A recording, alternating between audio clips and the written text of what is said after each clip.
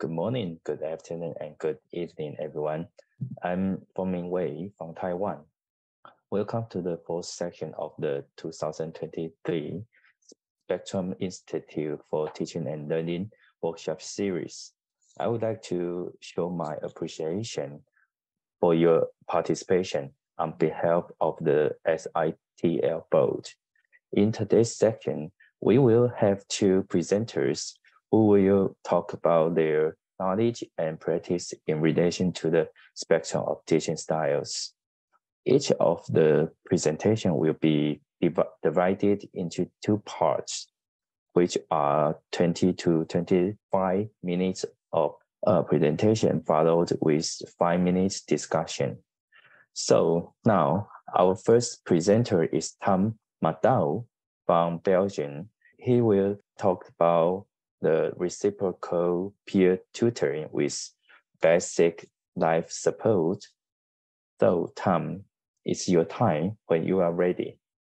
Okay, thank you. Thank you for the introduction.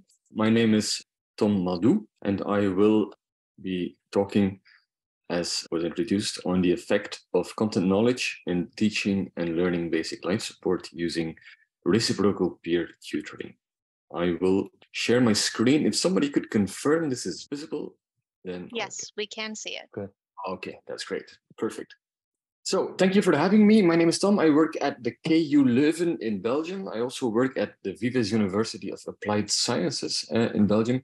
And I've been working in physical education, teacher education for about 13 years now. And I in the final stages of my PhD I'm at the KU Leuven with Professor Iserbyt. As you can see, it's a pretty long title, so I will break it up in three parts and introduce all three of them. So I will shortly speak on content knowledge, on basic life support, and on the teaching style C or the reciprocal peer tutoring model. I'll start very shortly with basic life support. I think it's a skill that needs little introduction. Cardiac arrest is still a leading cause of death all across the world.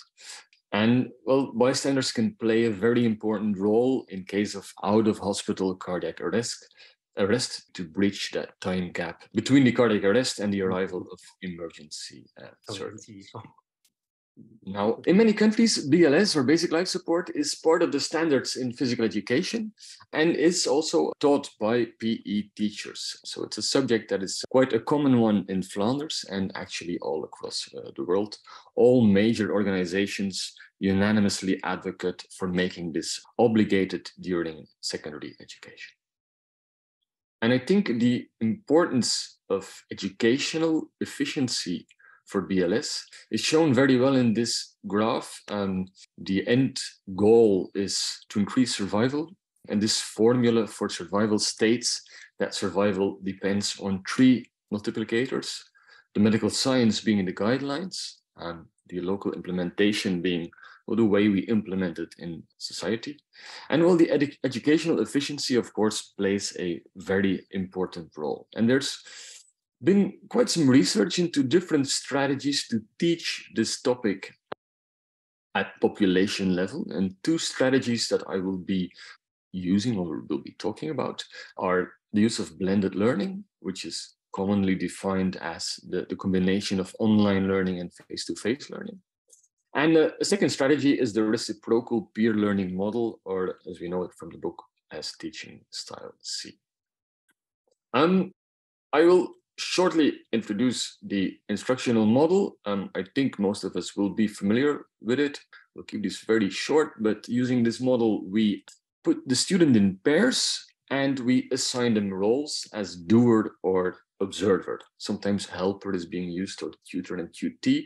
But the idea is that one, the doer performs the task and the observer offers feedback to the doer. And students switch roles at fixed times.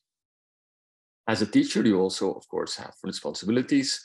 You're responsible for the subject matter, the criteria is logistics, and you are supposed to provide feedback to observers. So the desired direction of communications in teaching style C is shown as this with teachers talking to observers and observers and doers interacting with each other. Now, when I show this to my um, students, I like to show them this image as well, which is that a teacher can only do as much as he can because there's many student pairs in your gym. In this case, it's a 22 students, which is a normal class size in Flanders. So we are assigning a lot of responsibility to these observers, and there will be a lot of feedback in your gymnasium, and a lot of it will be unguided by teacher. Well, it will not be unguided by teacher, but the teacher will not be close to the observer when he is giving his or her feedback. So this is uh, an image of what this model could look like. You see the doer practicing with a mannequin, and we see the observer here who is using an instructional aid to provide feedback to the doer. Okay, so I would like to start very shortly with the question, what do we expect from these observers? Because it's it, it's actually quite something. It's, it's not an, an easy task. We ask them to know the criteria. So in case of BLS, it was, this would be knowing the different steps and the criteria of good BLS performance. We ask them to observe the doer's performance, compare performance against the criteria, draw conclusions, and communicate these results. This is not an easy task, and for this, we often provide an instructional aid. That's how we help the observers. Now, instructional aid could be a tablet, as you saw on, uh, on the pictures, but it could be a criteria sheet or a task card. But oftentimes we provide help to these observers to perform their task. And if you look at these instructional aids, they contain content knowledge on the subject that is to be learned. Now, content knowledge has been a topic of research with pre-service and in-service teachers for quite some time. It's a quite an active line of research um, with contributions from, for example, Professor Philip Ward from The Ohio State University, um, or Professor Skim or Cole or, or Peter Iserbyt, and so on. And what we are doing in this particular study is bringing some of the insights of some of the concepts of content knowledge with pre and in-service teachers bringing them down to the role of the observer during reciprocal peer teaching. So I will shortly introduce two types of content knowledge which have been used in research with pre and in-service teachers. Now, the first one is called CCK or Common Content Knowledge, and it has been defined as the knowledge needed to perform. So in case of basic life support, the CCK would be knowing the different steps and knowing the criteria of those steps, knowing what needs to be done to perform BLS well.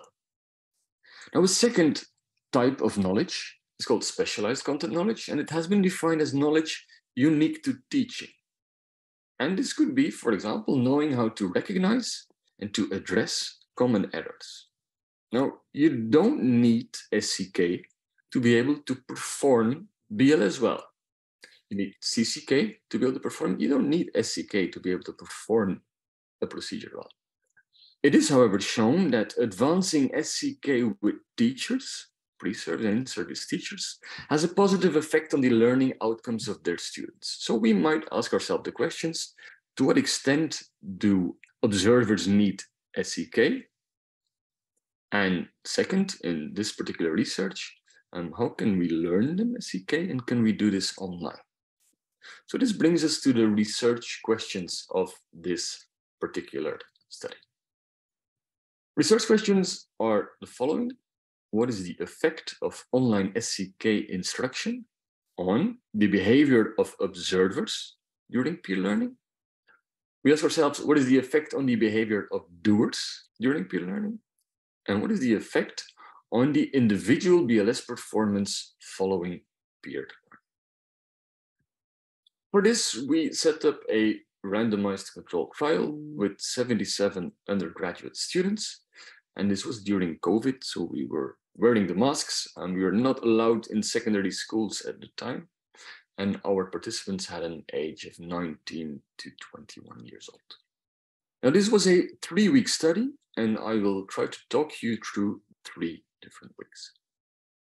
First week was a week of online learning. Second week was a week of learning basic life support using the reciprocal peer tutoring model. The third week was a week of assessment, which was done individually. So let's start in week one. Week one, we had two conditions.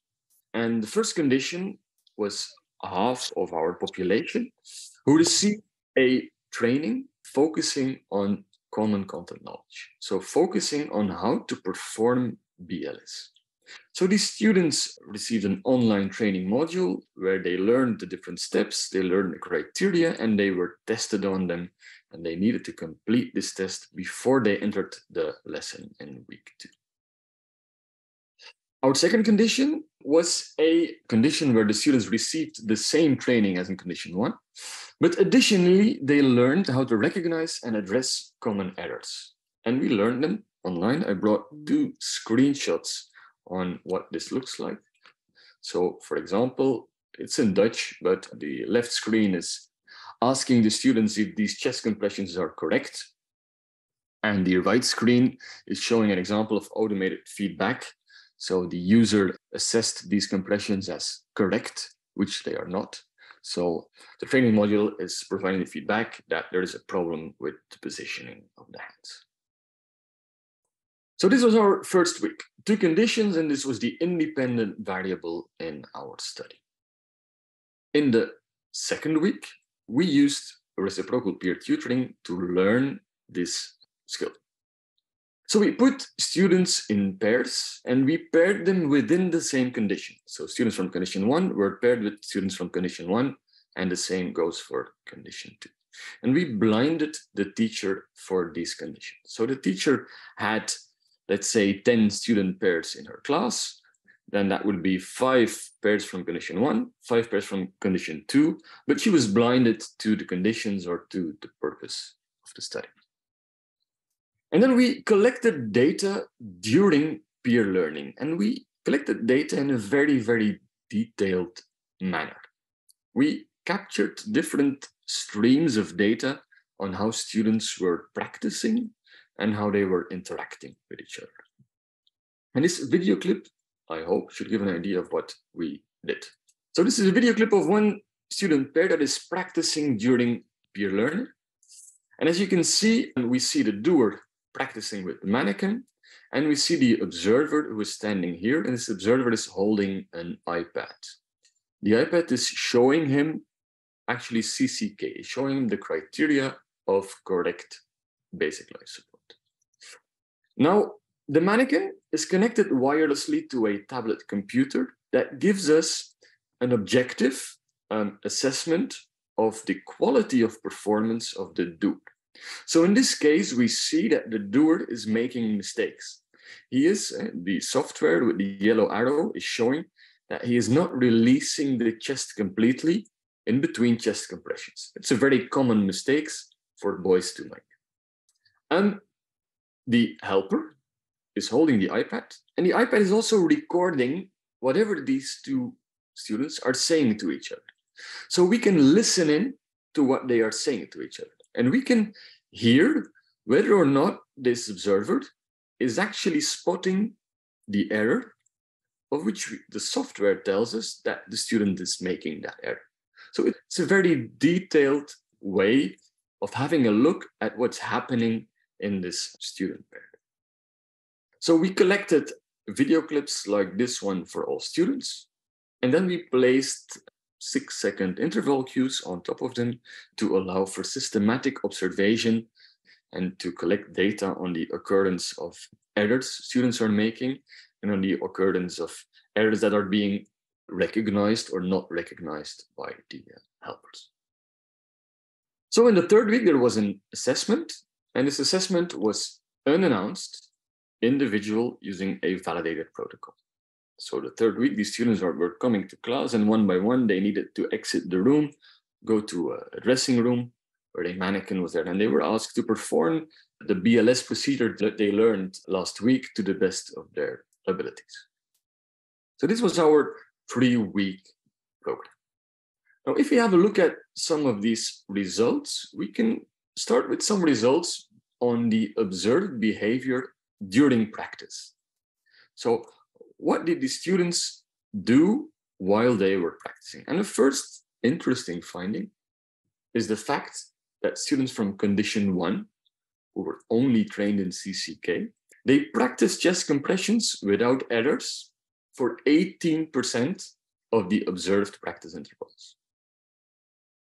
So this means 82% of the time they were making errors.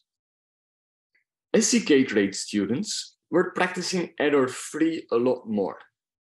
So they were practicing with higher quality. Really, this was a first interesting finding. A second finding is that we can have a look at the types of errors they are making, and we can report on how many different mistakes are they making or how many unique errors are these students making. And then we can see an image like this. This is the sum of all unique errors made within one condition. And we see that students who are trained online in SCK, they are making less unique errors, less different kinds of errors during practice. This is the dark bar, compared to the ones that were not trained in SCK. And if we have a look on how many errors were spotted, how many different errors were spotted by peer tutors, then we see that students who are trained in SCK actually spot more different kinds of errors, more unique errors compared to students who were not trained to do so. When we report on errors being spotted, we always mean that these are errors that are being spotted rightly so we see the software is making this error and the observer is interacting on it rightfully. So a look at results at assessment. We report on four clinically relevant variables of chest compressions. And these were also the chest compressions that were the, the topic of the SCK online training. These are errors with correct hand position, with adequate rate, adequate release and adequate depth. And then we see that the SCK group actually outperforms the CCK group on two of these four variables. So if we conclude, what does this mean? Well, first of all, we can conclude that SCK trained students practiced more error-free or without errors. And interestingly, they made less unique errors during peer learning. And this is an interesting finding as when student, students are making less unique errors, it actually means they are making less errors regardless of what their observer was telling them. Because if you count the unique errors, you only count the first occurrence of each errors. And the first occurrence of an error is always, by definition, has been without feedback from an observer. So I think we can conclude that SCK training actually led to doers making less mistakes directly because they were aware of what the common errors were. Another finding is that SCK trained observers spot and interact verbally on more unique errors. And concluding, SCK trained students perform better at unannounced assessment. So if we try to wrap this up for this particular study, SCK training prior to peer learning had positive impacts. It had positive impacts on different levels. It positively impacted peer learning behavior of students. And then we are talking about behavior of doers in terms of quality of practice and observers in terms of their tutoring behavior. SCK training also positively impacted BLS learning outcomes on a retention test one week following their training. Another interesting finding is that SCK could be trained online. I would actually dare to argue the case. It might be the best place to train this type of SCK. And I would argue that because if we make a well-designed training module we can make a student assess maybe 60 or 70 or 80 different instances of chest compressions and providing them with feedback over, over a time span of 10 minutes. It would be very, very challenging to, to do that one-on-one in a real life setting. the speed at which you can train error detection online is really, really high and can be automated fully. We are, of course, aware that future research will be needed uh, with different age groups as this was research with undergraduate students. Okay, I hope I stayed within my time frame. I thank you for your attention and I'm of course very happy to answer any questions uh, you might have. Yes, so thank you, Tom, for your wonderful presentation. So everyone, do you have any questions or comments on this presentation? Or you have the same experiences of implementing reciprocal styles that you want to share with us, it will be welcome. Hi, Tom. Yeah. Uh, can you hear yeah. me? I'm Ben here. Yes. Yeah. Um, the reciprocal style has a it's a very unique role for the teacher. I wonder during the interaction between the doer and the observer, is it uh, doer and the peer? What is the role of the teachers? Predominantly, the role of the instructors. I mean, apart from designing the online experiences, do they go around and help the observers to become better peer observers? Yes. Well, in this particular study, the teacher was used to using this teaching style. So she was instructed and trained on and used to addressing observers during teaching. And she had a full class of student pairs some of these pairs were from condition one, others were from condition two. She was not involved in the online training or the research design, or she was blinded to which students were from uh, which oh. conditions. So in that way, she just taught her class as she always did to the best of her abilities, going around and uh, addressing observers, trying to help everyone. Okay, thanks. You're welcome. Tom, I have a question. Yep. Was any data collected on the teacher? In other words, when the teacher was present with a pair, did you look at the communication, the interaction that went on between the two, between the observer and the uh, teacher? Yeah, it's a very interesting question. And the correct answer is not yet. We have witness video of the lesson. So we can go there, but we haven't collected that data yet. So I can't say anything on that yet. Yeah. Thank you. That, that's great. Appreciate it. Because th- this interaction may have some impact on or, or some connection to what else is going on with the students too. Yes, yes.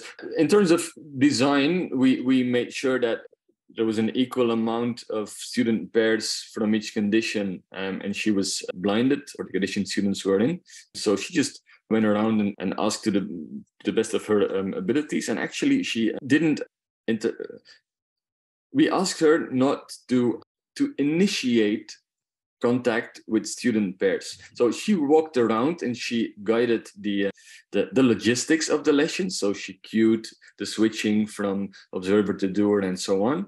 And if students had questions, they could ask her. But we did ask her not to actively initiate contact on the topic of BLS during teaching. So, but she did get questions and then she helped to the best of her ability. So it was, yeah, it was a real life study in, in that way.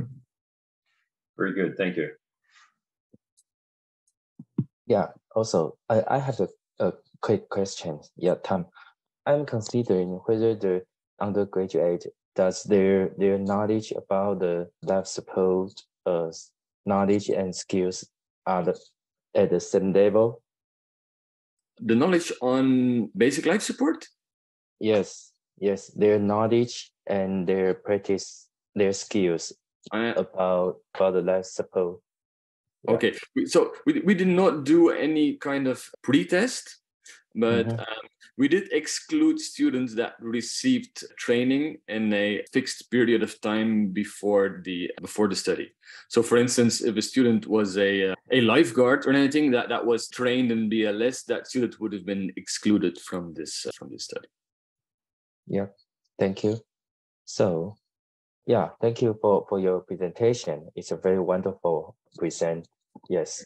So now we will have our next presenter, who is Professor Maria Goudas, who will share the research outcomes relating to teaching styles and self-regulated learning. So, Dr.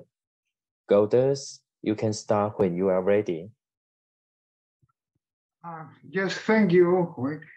Can you can somebody confirm if you could see if you can see my the slides? We can see the Yes. slides. Very Thank you very much. Good afternoon, good morning, or good evening to everybody, depending on from where you are attending the session. I would like to start by thanking the Spectrum board members for the invitation and also Autumn for her uh, generous help for the preparation. I have to say that I am not an expert in uh, the Spectrum teaching styles. My area of research is uh, psychology of physical education and youth sport. However, my office is next door to Nikos Digelidis one, so I'm uh, always informed about recent developments uh, on the spectrum teaching styles uh, research and the uh, activities of the uh, Spectrum Institute. So, uh, as I said, I have always been intrigued by the psychological processes and the outcomes that are involved or induced by some of the teaching styles. So, in a, an early study, I had uh, students, fourth and fifth grade students, uh, being taught for 10 weeks track and field activities, either with the practice or the inclusion style. And then I looked at about their self-reported intrinsic motivation, task involvement, and work avoidance. So as you can see in the graph, students from the students that were taught with the inclusion style reported that they were more intrinsically motivated, they were more task involved, they were less inclined to avoid work during the physical education sessions. Some years later, I became interested in uh, self-regulated learning. This concept refers to the initiation by students of setting their goals and encompassing learning strategies and most importantly for today's presentation recognizing and correcting their errors. So students who are self-regulated in their learning monitor control and evaluate their behavior clearly monitoring and controlling learning behavior is facilitated by some of the teaching styles of the, spread, of the spectrum. There are some in the heart of uh, self-regulated learning. There are metacognitive and, and motivational processes. For example, self-observation is a key process where self-regulated learners pay deliberate attention to their performance. Equally important is the metacognitive activity of self-judgment, whereas the students compare their present performance against goals or standards. I assume that you can easily recognize that self-observation and self-judgment are facilitated by the self in the self-check style, which provides a structured method to the student to self-observe and self-judge his performance. However, the same, as I will show you later, applies to the reciprocal style. Finally, an important motivational process is self-reactions for example, a student may be discouraged if his self-judgment is uh, negative, whereas another one may be motivationally enhanced when his judgments are positive. So, metacognitive monitoring refers to the mental tracking of one's performance, process, and outcomes. And when students are aware of their current level of performance, they set or effective goals, which may be realistic and challenging. And the self-evaluative judgments that students use clearly affect their subsequent learning efforts, as I explained before. So self-monitoring is a process that effective learners use to gather information for regulating their performance to achieve their goals. This process is most effective when the information gathered is accurate. And I will later show you some research we did on this aspect. I believe that you can see clear parallels in the metacognitive monitor with processes involved in the self-check and the, in the reciprocal style, whereas students have to compare their own or their peer learning activities to a standard, the self-check cards or the reciprocal or the reciprocal checking cards they have. So this metacognitive activity is a critical for their subsequent performance and psychological outcomes. Now, one of the most applied models of self-regulation is the one by Zimmerman, who has proposed that the development of self-regulated learning proceeds through four distinct levels. These are the observation level, the emulation level, the self-control level, and the self-regulation level. And here you can see a brief description of each of the levels, specifically tied to the learning of motor skills. So in observation, at the observation level, students watch a model perform the skill and capture the performance standards.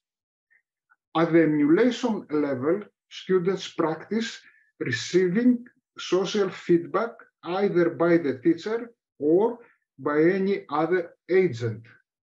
At the self-control level, students set process goals and self-monitor their performance. So they pay deliberate attention to some aspect of their behavior, which is a clear parallel to the procedure involved by in the self-check style. Finally, at the self-regulation level, students practice the skill in changing conditions and apply and uh, modify the skill if needed. So self-regulated learning develops through sequential practice of the four levels. And it has been theorized that students who master each level sequentially will learn effectively.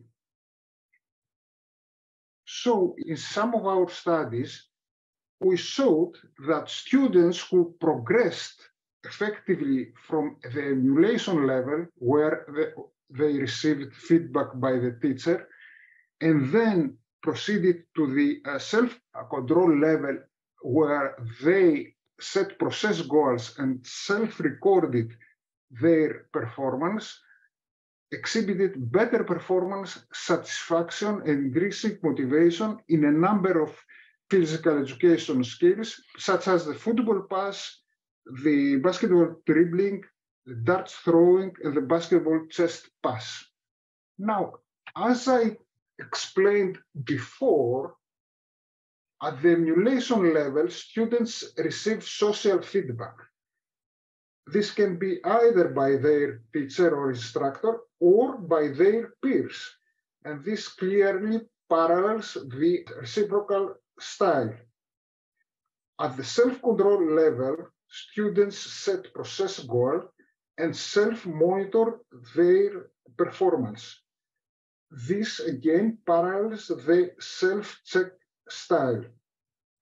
So in order to check whether the uh, reciprocal style and the self-check style, the, the, the, sequential progression from the reciprocal for better learning, we set up a study where fifth and sixth grade students formed four experimental groups.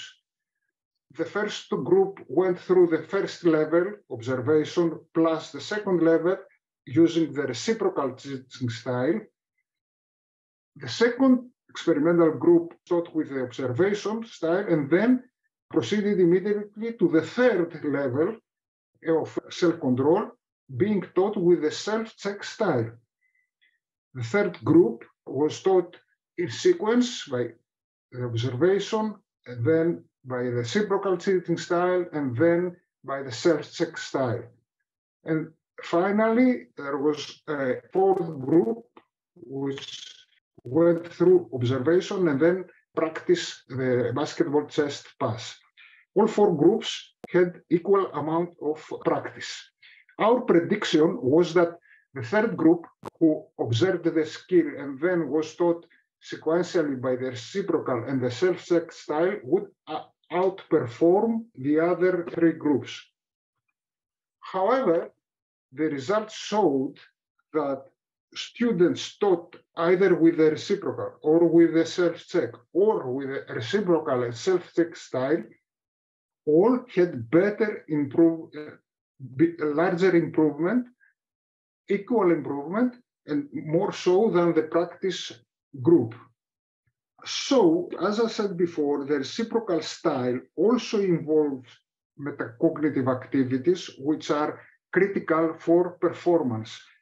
And then, uh, so in order to verify this, an earlier study had shown that students who observed a model performing in a video, a model per, uh, performing a motor skill that was dart throwing with errors, and were taught to spot and correct errors, exhibited better performance in subsequent dart throwing tests, higher self-efficacy, higher satisfaction, and more intrinsic interest.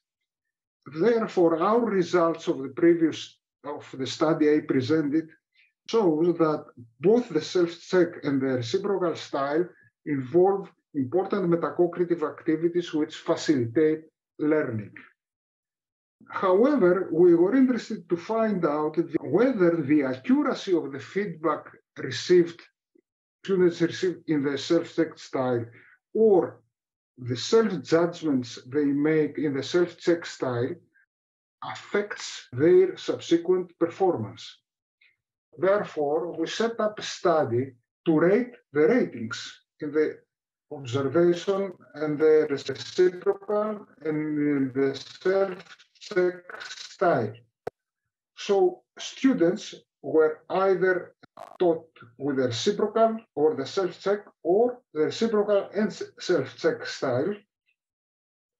The content was a basketball chest pass. The rating cards included four criteria and three-point scale, and students provided 24 ratings during one physical education session with these concepts. At the same time, two experienced external raters were rating the students.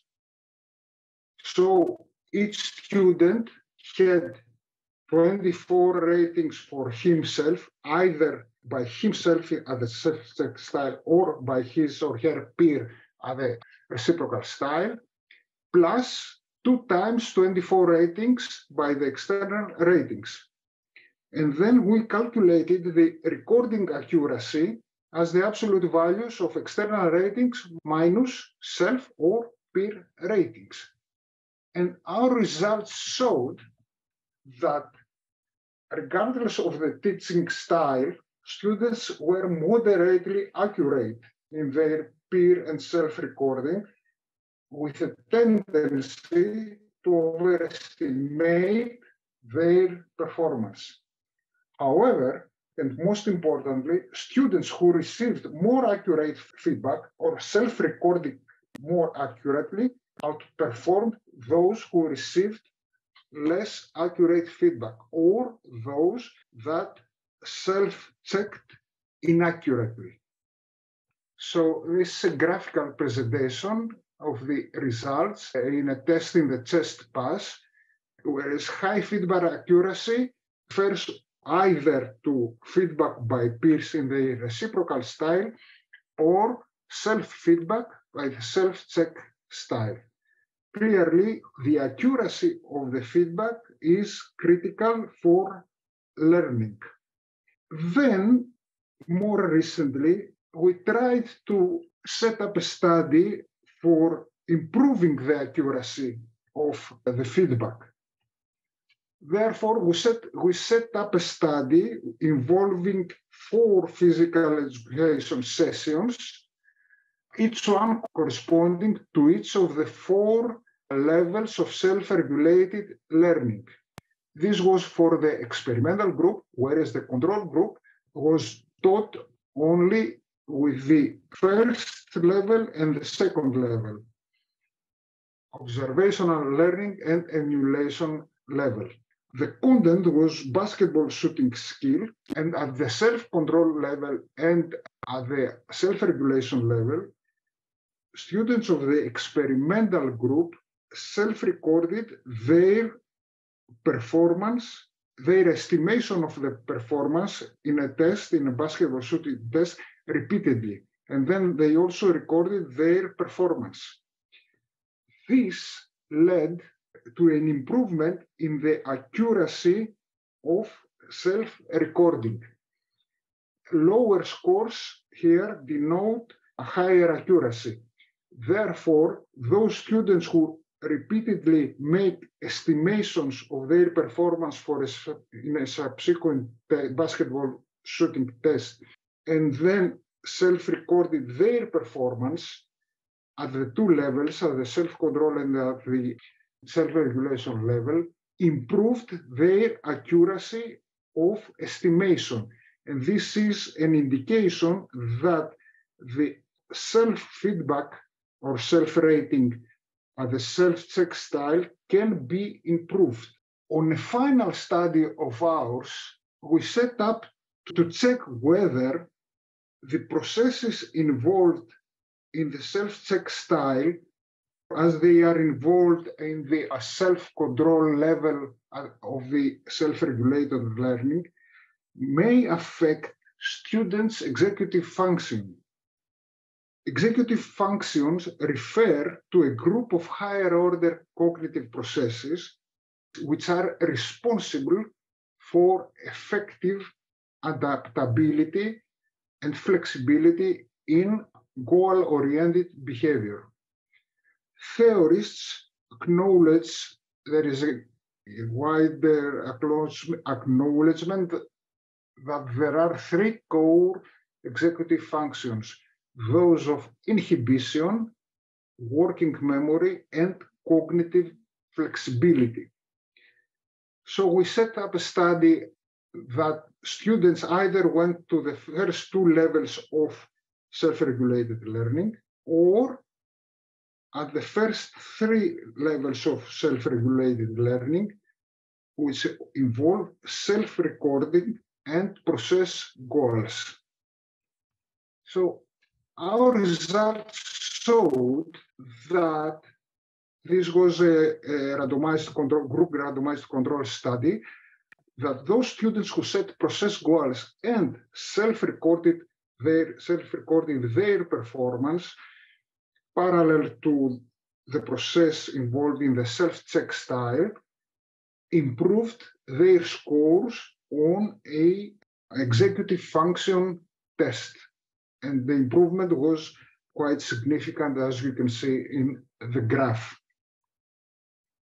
Overall, the key metacognitive processes involved, our studies show that the key metacognitive processes involved in the reciprocal and the self-check style by observing one's self or others' learning behaviors and judging oneself or others' learning behaviors against standards facilitate learning, performance estimation, which in turn facilitates learning again, and possibly executive function.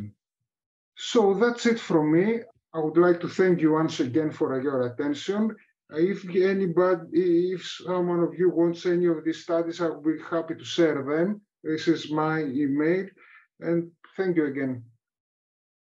Yes, thank you, Professor Goudas. Yeah, so questions and comments from the audience? I think I saw Kane raise her hand for a second. I'm not sure. Sorry, I was just clapping hands. oh, okay.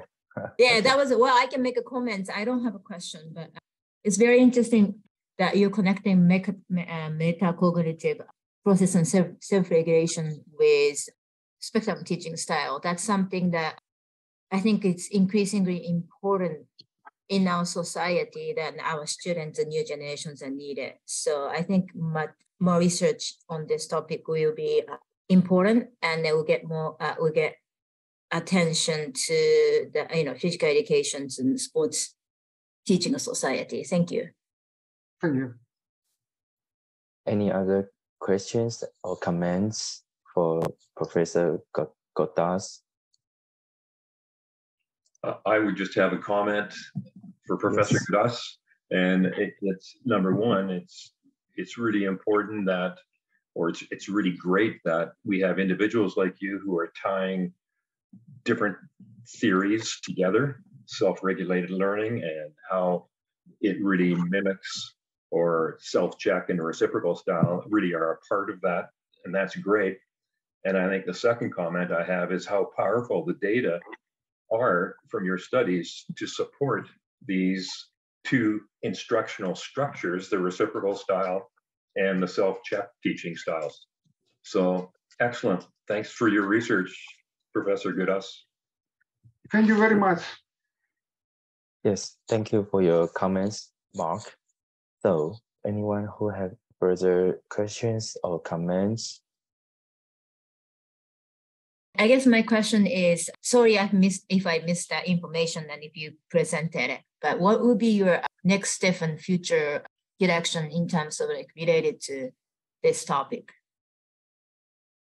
In the study, we tried to enhance the accuracy of estimation. The estimation was for a sport test where you have a clear target for example, eight out of 10 successful shots. However, we haven't tried to improve the accuracy of feedback in the reciprocal style. So I think this is critical to apply some method to improve the accuracy of feedback because accuracy is a, uh, critical for performance. So perhaps we could set up a study for providing feedback on feedback. So observing students in the reciprocal style, providing feedback to their uh, peers, and comment whether this feedback is accurate, trying to improve the accuracy of feedback. Good. Thank you for the responses, Dr. Goudas. Yeah, I, I think time is up and yeah, we, we are going to close this section, but it's a very good evening to have all of you stay with me. I really sin sincerely to say that and with two good presenters and wonderful discussions with all of you. So I hope you have a good weekend and look forward forward to seeing you in our last section of workshop series.